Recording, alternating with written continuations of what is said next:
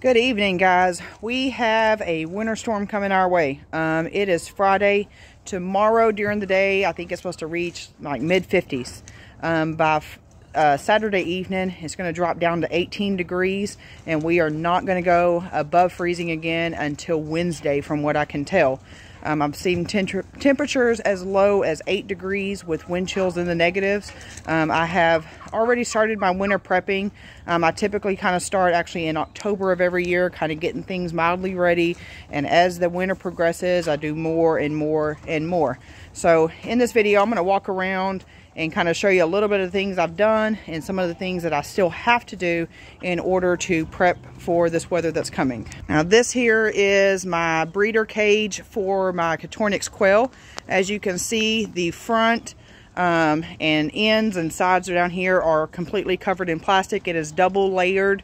Um, that is to help some of the cold and wind from preventing to get in. Um, I do still have these doors open. We're supposed to get some sleet and some snow. Um, as we drop in temperature, I do have some pieces of cardboard actually that I'm going to put up here just temporarily and they won't cover the whole entire door, but they will cover a portion of the door. Um, but that is just a very temporary solution. We're not going to stay cold for very long, um, but that is the only thing I could come up with without having to do too, too much. I don't want to cover it in plastic because, like I said, this is not long term. Um, it is going to be in the 30s and 40s thereafter, but they will be okay in the 30s and 40s. It's down in those single digits that I kind of worry about them and I want them to stay warm enough that their egg production doesn't drop and that nobody freezes to death in the middle of the night. Um, I do have five gallon buckets on the top for water. Um, I've temporarily put this piece of tin up here. Um, that is to kind of keep, uh, make a little bit of an overhang to keep the sleet and the snow from when it melts from running down into the cage. My five gallon buckets though, I will fill those completely full and try to keep them full. The fuller that bucket is, the longer it takes it to freeze. Um, but I have backup waterers, just those little uh, quart-sized waterers that I can put into these cages as needed. And I have more than plenty of them. As one freezes, then I can take it out and put a fresh one in. Um, I do not have those buckets insulated or my PVC pipe insulated on this cage. I need to at some point, but I did not get around to doing that this year. Um, so the quart size waterers will have to work to just keep water to them for the time being. Now my rabbits live strictly outside summer and winter. I am least worried about the rabbits. Out of everything that I own, my rabbits handle winter very, very, very well. Um, some of them have some hay and straw and stuff in their cages. I need to take all of that out and put fresh in there. Some of it is soiled. Um, they've spread it all around instead of having it just in one corner or in the back. But I will clean all of that out. I will empty their trays. Um, most of their trays are fairly clean right now, but I will get them all emptied and that away in those really, really cold temperatures. I don't have to clean trays because they're over full. Um, keeps you from having to do so many chores in that very, very cold weather. Now for their waterers, um, I do have your regular rabbit waterers. Like this one up here, I have several of those. I have a whole entire uh, bin full of those. So as these waterers here freeze, I will bring out um, those spare waterers to be able to put on their cage to make sure that they're still getting water. Um, as you can see, these are not insulated as well. We don't have a huge problem here in Texas with extremely cold below freezing temperatures. We do get below freezing a lot, but not for very long periods of time. So it's just something that happens for two, three days, maybe even a week. And then we get back up again and then the temperatures may drop. So that is how I handle this particular situation. So we've got hay and straw on deck ready to go into these cages. This evening here, I've got to clean these out or even tomorrow clean these out and get fresh in there. Um, that way they'll have plenty of hay to eat, plenty of straw to keep warm with. I'll make sure that their food bowls stay completely full so they've got plenty of food to eat and help keep their little selves warm. Um, it is hard to stay warm when you're hungry. So keep those food bowls full. Um, that way they can go to sleep with a full stomach and stay nice and warm. My garden beds over here have layers and layers and layers of hay and pine shavings and stuff that I've been throwing in there um, since the end of summer. Um, I have a lot of herbs planted in this, so I have them kind of buried and protected. Um, most of them tend to still come up at the beginning of spring usually. Some of them don't because I bury them a little too much. Um, it's a way to put all my compost straight into my garden. Like my rabbit is really what goes in here. Um, and just let it break down on its own. Fertilize the ground and all of that bedding kind of protects those herbs from the, uh, from the roots freezing really. Now my ducks are pretty hardy. Um, they tend to take the cold very, very well. I need to change the straw out inside of their thing. We've had rain over the last several days, so their ground is very, very wet. I'll more than likely pull that straw out, put this all over the ground to kind of uh, cover up all that wetness and give them fresh, warm straw to be able to bed down in in the middle of the night. But they've got a nice little shelter here that will protect them from the elements. Um, for their water, this is a kind of a plastic type tub. If it starts to freeze, it's very, very easy to just dump the ice out and refill it. So that one there, I'm not too worried about. All right, and for my big girls, I've got to clean these waters this evening. We had a lot of rain and even hail last night, so it splashed up a lot of dirt and got the waters dirty. Um, I didn't have time to change them all out this morning, but I had to try to rinse out the base as much as I could, and as you can see, they've got dirt in there off their beaks all day long. Um, these waters here can be very, very hard to keep them from freezing. Um, honestly, what I do is every night I'll fill these up and I actually take them inside my garage chickens are asleep at night, so there's no need for them to sit outside all night and just freeze, and then I'll bring them back out in the morning. Um, out here on my main yard, I have two three and a half gallon waters and a five gallon water, so I'll take those in at the end of the evening and bring them back at um, in the morning time. That way their water is nice and unfrozen, and then throughout the day we'll kind of check on it and see how it's going. Now for water for them as well, I also use one of these rubber uh, trough type thingies. I'll fill that up, this plastic bottle in here. Once I've got it filled up, I will put this in there. That will move around as the wind blows and all of that, and that helps keep that water from freezing so quickly. Um, when you're down in the negatives, this here can still freeze, but this being rubber, will you're able to easily dump that frozen water out. Where with these here these are plastic. They're a hard plastic and when they are frozen you've got to be very very careful because you can break those things. So this here will be their primary source of water. Um, I will also empty this at the end of the day. There's no need for it to set out here and then me fight with getting ice out of it in the morning. But it does come out pretty easy. Like I said it's bendable it's rubber it's flexible. So fill that up and I'll have this bottle floating in there for them to be able to have uh, fresh water just in case throughout the day if I'm gone to work or something like that and these freeze, then they do have this here as an option. Now this here is my little Bantam house. Um, as you can see, the chicken wire is pretty open and exposed to the elements. Now they do merge with my big flock during the day, so they only sleep in here. Um, yesterday evening, I filled it full of straw and you can see they've reeked it all around, but I'll fluff it all back up for them and make sure that they're ready to go um, Saturday evening when that cold front rolls in on us. This is a spare quail cage where I kind of put some of my quail that are getting just a tad bit older. Um, so these are, most of these are close to a year, if not a little over a year. Um, quail do not live, but about a year and a half, maybe even up to two years sometimes. So I don't expect any of these to live for very much longer anyway, but I still don't want them to die uh, freeze to death. That is a miserable way to die. Um, tomorrow I am going to cover this portion here in that same plastic that my breeder cages up there are covered in and I will cover this door. This little section over here I will leave open and I'm going to put some straw in here just on one end. They poop so so much but give them just a little bit of bedding to be able to snuggle down in and leave that other end open hopefully which I know they are not this smart. But my hopes is, is that when they come down here to drink and then eat on this end, that they will poop and then only sleep on this end. But we all know that is not going to happen. These quail are not that smart. Uh, my big girls in their hen house, and even though it does not look like it at all, I just put fresh straw down less than a week ago. I put a whole entire bale into here.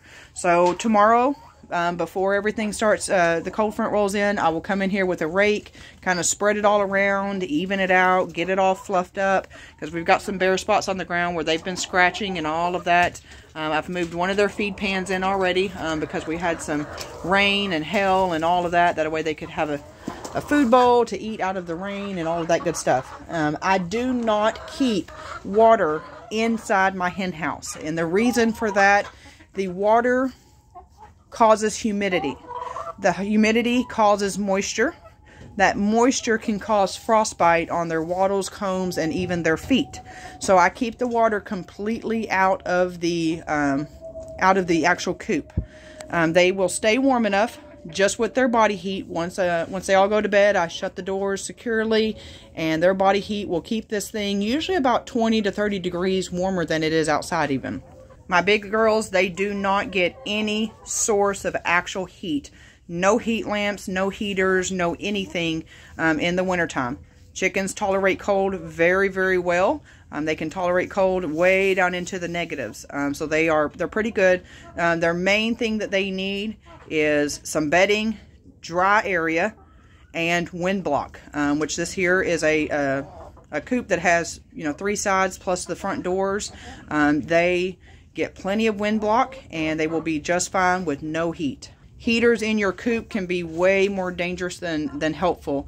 Um, that what they do is they'll warm up and then when they come out into the cold they end up getting frostbite. It can cause some breathing problems from it being warm and then going out into the cold. Um, and then besides that they are just dangerous. Um, if they fall or something like that, your hay, your straw, your pine shavings, your leaves, whatever it is that you're using for bedding can catch on fire and go up in flames in a matter of seconds. I've also got bedding on hand for if we end up getting snow like they are predicting, that I can put some bedding down um, outside the door and give them some dry areas to kind of walk around.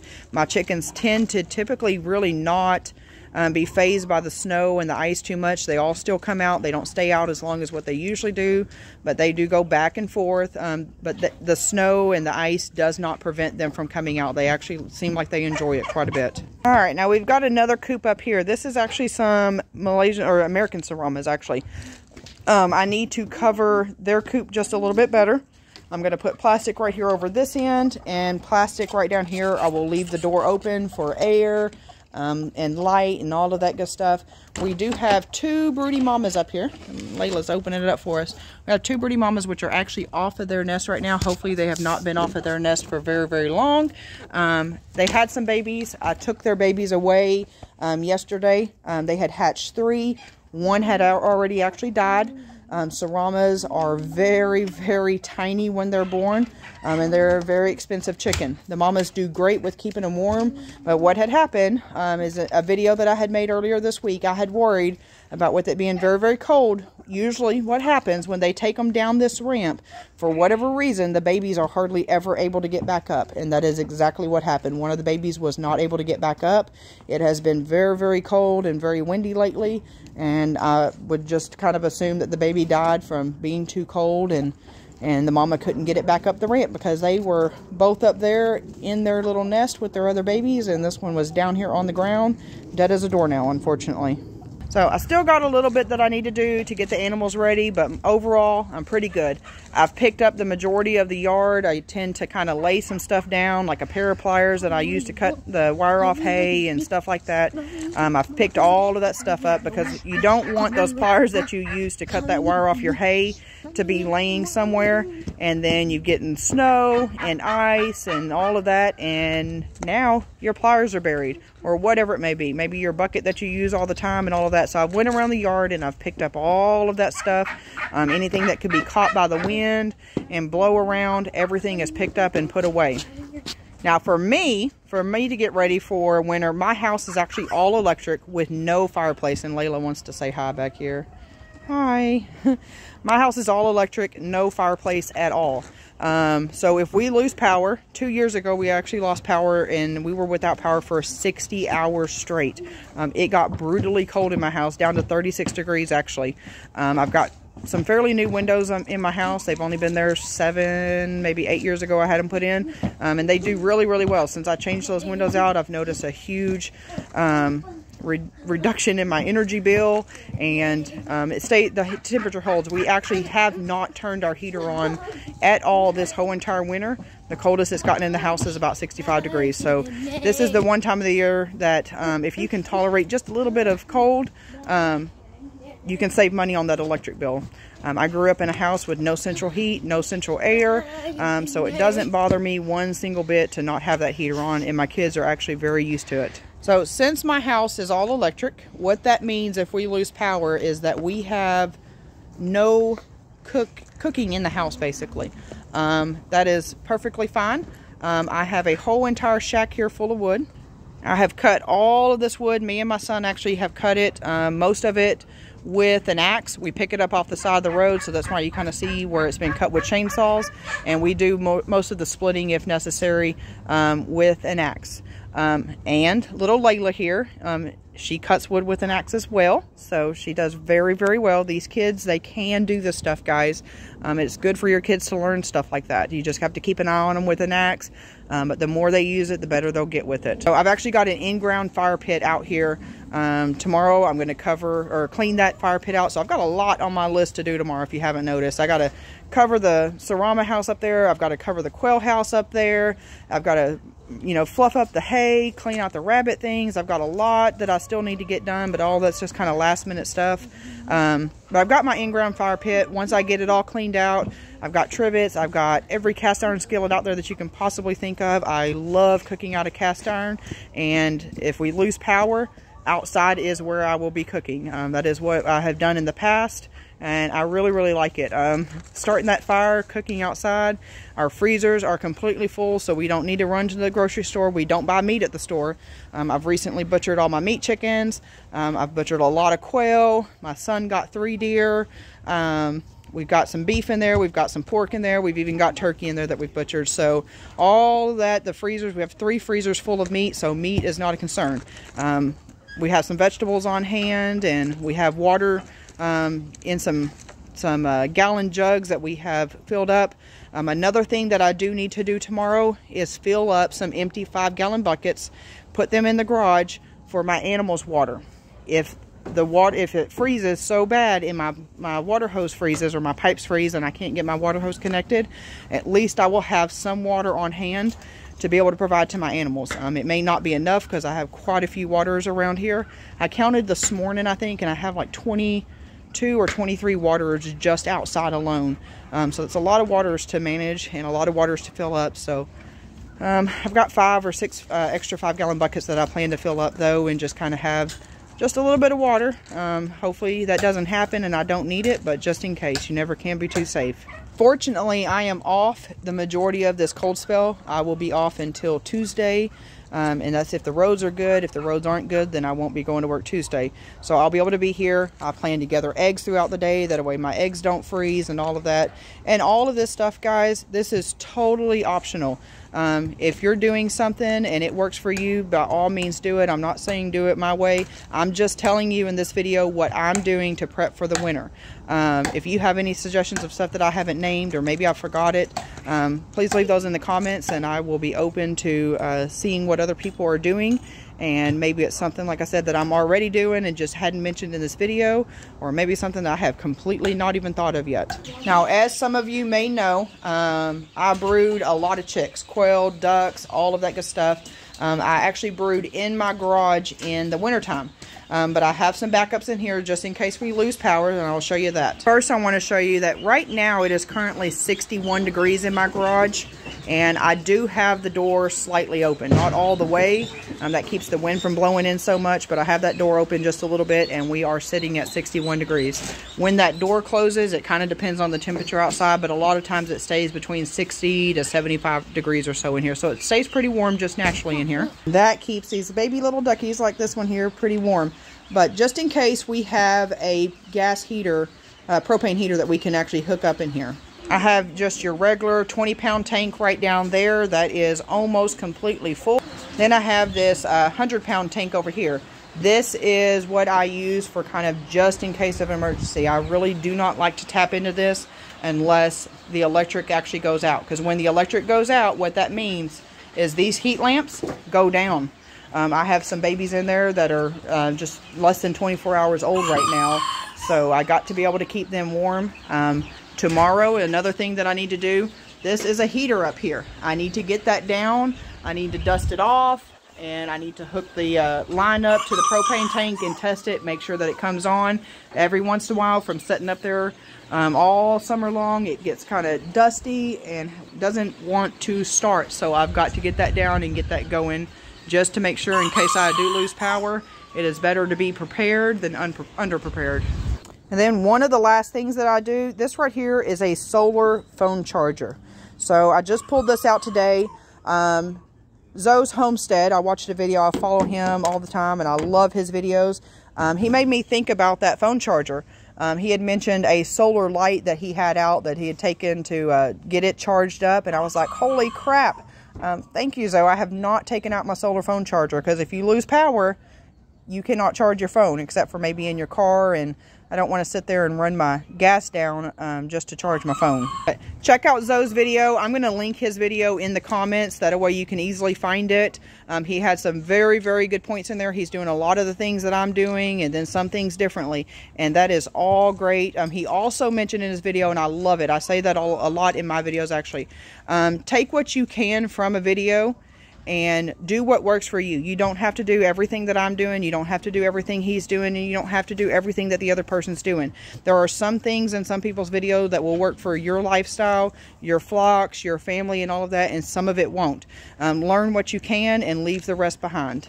Everyone's situation is a little different. Everybody's climate is a little different.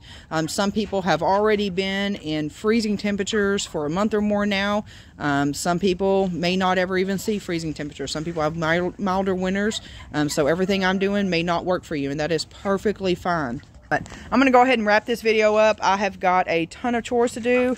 I've got a list that I need to sit down and make for tomorrow um, to make sure that I do not forget anything off my list um, for my prep. And thank y'all for watching this video. Hopefully you enjoyed it. Hopefully I taught you something. And like I said, leave some things in the comments that you're doing. Um, I'm very eager to see what it is that you're doing that maybe I'm not doing. Like I said, some things I may not have thought of. Um, so help me learn as well. Um, thank y'all for watching and y'all have a good evening. Stay warm, guys.